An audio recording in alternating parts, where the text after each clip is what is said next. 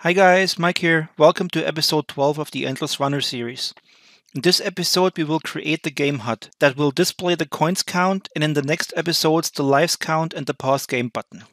We will start by creating a blueprints widget class, laying out the HUD items, then create a C++ class and bind those widget elements to it. Defining a custom event in the game mode that the HUD will register a function for so that once a coin is collected, the event will fire and the HUD will update the coins count. So let's get started. So in the editor, let's start by creating our widget class. Like I mentioned a few episodes back when we created the animation blueprint, where I said that it's best to create the blueprint class first and then the C++ class and reparent it to the blueprint class the same problem we have here with UMG, so that if we create a C++ class first and then based on that create the blueprint, we will get issues with the widgets or we the graph won't be visible where we can create the elements and stuff. So first we are going to create now the, the widget class, then the C++ class and reparent it. So let's create under user interface widget blueprint, call it, let's say game HUD, open it up. And in here, we need to add items to the canvas. So we need a text item and we need an image. So let's put the image in here and put a text in here. We will rename it to coin image and this one is important, the text which will be called coins count. And we click on this checkbox to make it a variable. This is important because when we create the C++ class later on, we bind this item in our C++ class so that when this item changes in C++, it automatically update in the HUD itself. So let's move it to over here this is the text. Let's call it, let's say, count 17 so that we can see if we don't initialize it later on, that we can still see the values there. Then the image, the image itself has a brush. We change it to the coin UI and make the size 80 by 80 and anchor it to the top right. The same goes for the coins count. Let's change the font to 45, make it a little bit bigger, adjust the values here, and have the alignment or justification to the right and set it up here and also add the anchor to the top right. So compile, save. Now we have created our game HUD and what we can do now is in our game mode, create this game HUD, initialize it, and add it to the viewport. So let's get into our code first. So in the game mode, we will create the widget class and add it to the viewport. And to be able to do this, we need to find out, or we need the actual class for it, like we have with the floor tile class. We need something for the widget. So let's copy this for config make a T, or copy this as well, T subclass off, and what it's called is a U user widget. And we call it HUD or game HUD class. So we have defined our game HUD class of U user widget. Now we need to forward declare user widget and for this to compile, there's one more thing we need to do. The UMG system is its own module, so we need to make sure that the classes that we use here can be found so that our module is kind of like included in our build. So what we need to do is change our endless runner build.cs and you can see the public dependency module names that are used for this project like core, core U object engine, what we need to do is also to include UMG and then just add this text after this module name. So, and later on, there will be many more modules like networking, like other stuff, AI. If you're using this in C++, you need to add those modules. And what you can do is if you look at the engine, here you can see all those kind of like modules that are part of Unreal and so on. So this is actually how you can then specify which module you're using. And if we now close this and compile this, it should be able to find the user widget and compile fine. And it did.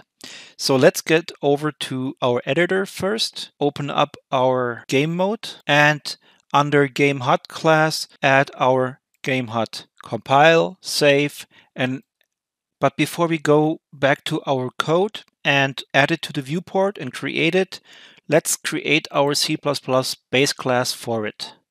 So we right click, new class, show all classes and type in user widget.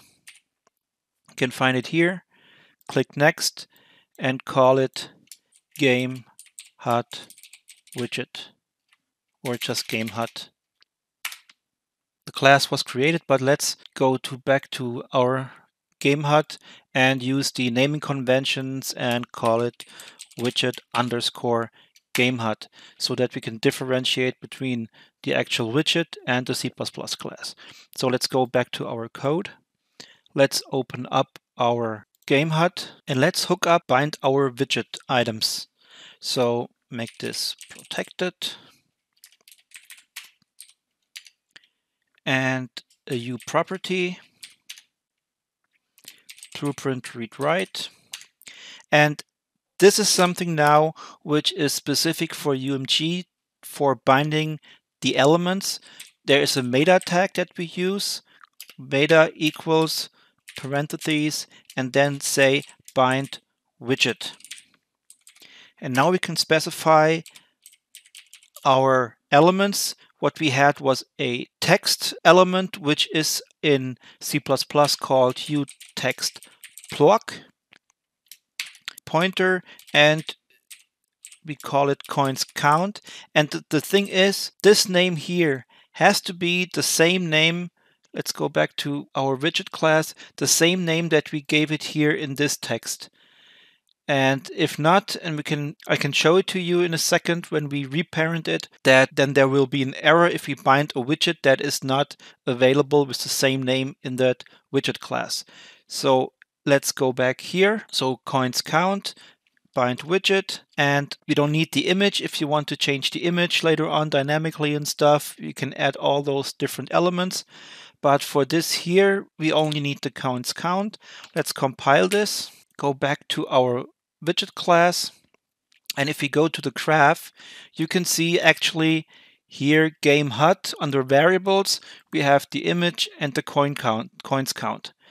Now, if we reparent it to our class, so go under File, Reparent Blueprint, and choose our game HUD, you can see now that this element is gone. So it actually saw it as or found it in the C++ class that it's a that's binded to it. If we, for example, go back to designer and let's say we add or change this name, compile it, then you can see there's an error. And in the compiler results, it says a required widget binding coins count of type text was not found. So this is how it works with C++ and widgets. You specify a bind widget with the code and the name has to be the same as the one that you're using in here. So if we change this back to coins count, compile it, and then it compiles perfectly and works. So now we have hooked up our C++ class and to the actual widget blueprint. And now it's time to create it in the game mode and add it to the viewport. Let's go back to our code, minimize this, go to our game mode base. So we have the game HUD class and we need another property. Make it visible instance only and call category equals runtime, for example. And this will be a reference to the HUD that we are creating. So U game HUD, pointer, and we call it game HUD. And in the CPP file, in our begin play, let's start by enabling our mouse cursor. So this can be done with the U gameplay statics get player controller, get world, zero for the first one, and then we can say b show mouse cursor equals true. So the player controller has a boolean value that you can set that shows the mouse cursor or hides it. And then now we create our HUD. So game HUD equals, we need to cast it to our U game HUD. And the way to create widgets now is to use a function create widget and we call it call get world and specify the widget class that we defined. So it's game HUD class. The create widget function is a global function that is part of the blueprint user widget.h file. So we created our game HUD. Now what we can do is use check again because this is really essential. This is an essential class that without it, it doesn't make sense that the game runs. So if somehow the cast and the create widget failed, then the application crashes and we can exactly see where it happened and fix the issues. So now we created our widget, but this widget doesn't yet appear in the viewport. We need to add it first. And there's a function in the widget game HUD and it's called add to viewport. You might have seen that in blueprints. If you work with blueprints, it's the same functionality, adding widgets that are created to the viewport. And this should run. So let's compile this and test this out. Let's go back to our editor, hit play, and you can see here that our icon and the text is appearing. Let's stop this. But you saw that the count was still not initialized to zero. And of course, we are lacking the feature right now for each collected coin to change the value. And this is something that we're going to do now. So for this to work, what we are doing is we create events. Or let me show you for one second first in our widget class that usually when you have text like this, what you can do is bind the text to a function that you can create a binding that works basically if something happens this binding or to a value and if the value is changed like our coins count in the game mode for example that this widget could be automatically updated but this is not a good way to do it because this is updated every tick and costs performance and stuff. So if you have tons of elements and they are binded to values and stuff, it's going to be problematic. So the better solution is to use event-based systems so that only when like we collect a coin, then this value should be updated. And for this, we are creating in the game mode an event, a custom multicast event, which the widget class will bind to, a function in the widget class, bind to the event, and then once we once the add coin function is called we will broadcast this event or fire out this event so that then the widget class can update itself with the value passed in from the event. This sounds a bit more complicated than it is so let's just start by creating our event class and we will do this underneath our forward declaration and above the U class, we need to declare a specific or call a specific macro, which is called declare underscore dynamic, dynamic underscore multicast delegate, and which has one parameter. Now, what we need to do is first specify the name for the event. So usually these start with F on, let's call it on coins count changed. then the signature, like you've seen in the other episodes where we bind functions to, they had like a signature. Then when we tried to bind a function, it needed the same signature as the one specified for the event. So, and we're specifying our own signature. It's in 32 and these are separated by commas. So the first is the type, the second is the name, call it coins count. And this is how you specify a dynamic multicast event. Now, for it to work, we can use this like any property. So what we will do is, let's say, define a property here, call it uProperty, and there's a special specifier called blueprint assignable so that these events can also be assigned in blueprints. Blueprint callable and give it a category of delegates. And now we use the f on coins count changed type and call it on coins count changed. So this is how events work. You first declared with that dynamic multicast delegate. There are also other delegates that only work in C++. Only the dynamic multicast delegates, they kind of work with C++ and blueprints. And multicast means that you can add several functions or bind several functions to it. And then there are also like single delegate event types that you can only add one function to. But this is not part of what we're covering here. So we're using this and specifying our property here. And now what we need to do is for the widget class to be able to call onCoinsCountChange dot add dynamic and then add its function to. So for this to work in our game HUD, we kind of like need a function. We create a public section and in here we create a u function, make it blueprint callable, void initialize HUD. And we pass it the a endless runner game mode base, pointer to it, and call it run game mode. Then we implement the function. And what we also need is another u function, can also be blueprint callable. And we say set coins count. And this is the function that meets the same signature like our event that we specified. So in 32 and say coins count or call it just count because we specified our coins count text block and we can't use the same name in our definition down here. So let's implement this and let's implement the initialize function first. So we are checking if run game mode is actually valid. Usually it should be valid, but let's check this for now. And one thing we can do first now is initialize our count.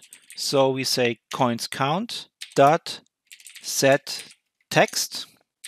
And what Rider did again was include automatically the components text block.h. So most user widgets classes that you're using, you can find them in the, under components and then text block, image, and so on and so forth. And this text block, it has a set text function that we can use to set its value.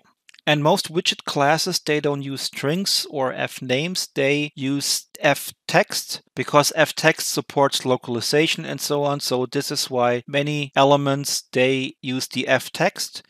And to convert a number like our what we are having here, it's a text, it's not a number. So we need to convert like zero to that text. And there's a static function in f text you can use ftext colon colon. There you have several things as percent, as time, and you can say as number. And you specify zero, so we initialize it to zero. And next time we will see the coins count has initial value of zero. And then what we can do is say run game mode. Now we need to call the onCoins count changed. And like you've seen in previous episodes, with the way of adding dynamic functions to these events, we call add dynamic, then specify this. And pass in a reference to our GameHUD set coins count function. So once this event is fired, it will call this function here. And what we need to do in here is set the coins count to the account that is passed in. So similar to this, let's copy this. And instead of putting in zero, we add the count. And what we can do here is make a const out of it. So the way this works in initialize, we're setting our function to the event so that once the event is fired, these functions get notified that are added. So we can have another class somewhere that may want to do something when a coin is collected. So many classes can then register their functions to this event and can act on it once it's broadcast or fired now that we've set up our GameHUD here, one thing that we need to do is just fire the event, which is called broadcasting. So in our game mode base, of course, there's another thing we need to do. We need to call GameHUD initialize HUD with our game mode. So we need to initialize it first, that it can register the function and really work. And then in our add coin, you can see here we have our total coins. We can remove this now and do our on coins count change dot broadcast and pass in our total coins. And this should actually be it and should work. So let's compile and find out. Let's head over to our editor, hit play. You can see it's zero. And let's start collecting. And you can see collecting works, updating our coin count. Of course, now we restart the level after we die. This is something we will change in probably not the next video, but the video after that, where we create lives and be able to restart where we left off with our game count and have lives. And if we die three times, for example, then we get a game over screen and so on. For now, I think this is it. The HUD update works. You can now see the coin count updating. And this is it for this episode. So thank you for watching. I hope you really liked this video. If you have any questions, please leave them in the comments below. I will gladly answer them. And please like, subscribe, and hit the bell to get notified when new episodes are coming out. This would really help me. So thanks again and see you in the next one.